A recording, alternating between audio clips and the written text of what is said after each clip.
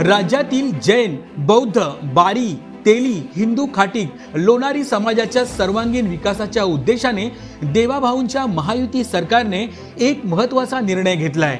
यानुसार जैन धर्मियांसाठी अल्पसंख्याक आर्थिक विकास महामंडळ स्थापन करण्यात येणार आहे.